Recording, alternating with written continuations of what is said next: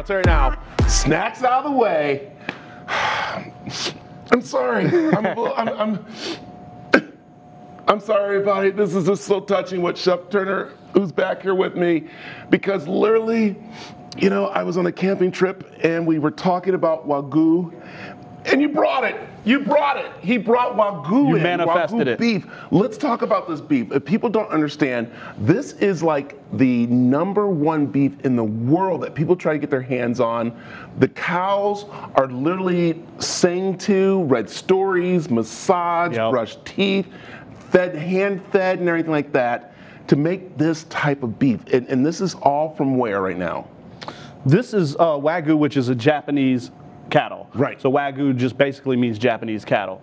This was actually raised in Ohio and is courtesy of Double Double Eight Cattle. Yeah. Who is like the number one distributor in premium, top of the line A5. It doesn't get any better than this. It's, It's, uh, this I mean, is you understand. this is the cream- going on. People, were- when you walked in, their mouth were watering and stuff because this is the top of the top. This is the best of the best, right? This is uh, typically around anywhere from 180 to 220 per pound for A5 Wagyu. And I like that even here at the Double Eight uh, Cattle, uh, they make sure you even get a certificate, right? Right. So it's a certificate of authenticity, and uh, yeah, it doesn't get any better than this. This is uh, the cream of the crop. So uh, we're gonna enjoy this. I have Oh, a yeah. little bit seared off here. Oh, yeah. I'm gonna um, I'm just gonna go very light with any salt. This is typically I like to season at the end, but for uh, to demonstrate it in case we don't get to that point, I wanted to just show you just a little. That's it. That's, all we do that's right there. do. All right, we were talking about this because I was saying, well, you know what? Can I grill it? I was thinking going camping and grilling this. You're like,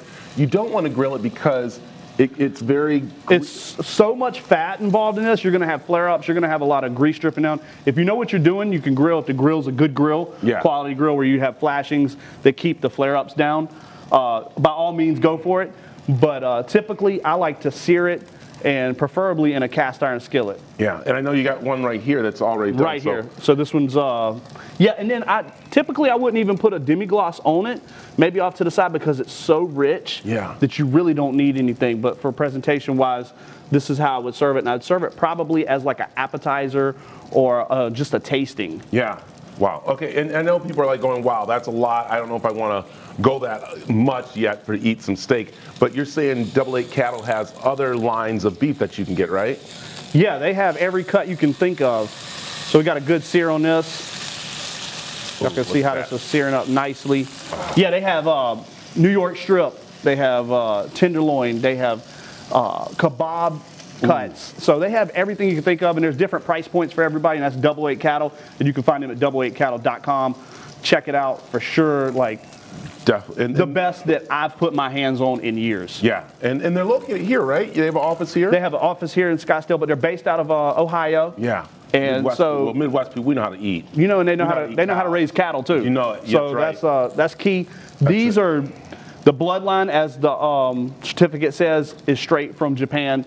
They stopped the import of the cows back in like 1997, whenever we had uh, a lot of mad cow disease Yeah. and things like that going on. So it's rare, super rare in the United States. I'm getting a little mouth waters. You're tell me what's what do we have here lined up? Because is this Wagyu too that we have here? Um, this is uh, wagyu here, but this is just an offering of kind of what I do. I try to bring the steakhouse to your house. Yeah. So this is like my steakhouse type menu, what you would get if you hire me as your private chef.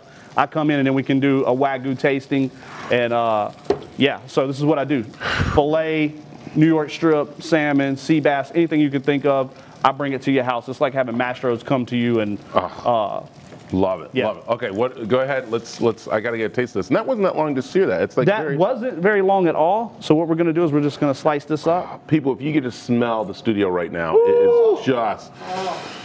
Oh. Here we go, Brad. goodness. Here we go, Look Brad. All right. This Where is can you, people buddy. find out more about you, Chef Turner? chefwilliamturner.com, and they can follow me on Instagram at Chef Will Turner. And uh, I just want to thank Double Eight Cattle again. Give that a try, brother. Oh, I am. I'm going to thank them for bringing you over here with us. Um, and you know what? I'm going to sell. I'm gonna, he's not here, and he's our beef guy. But Rick, who is uh, head of sales, um, he's not here, so he's our big guy. So I'm He's going gonna be super jealous. He's going to be jealous. I wish I could hug you. I wish I could hug you, but I can't. Okay. we can fist bump, brother. We can go.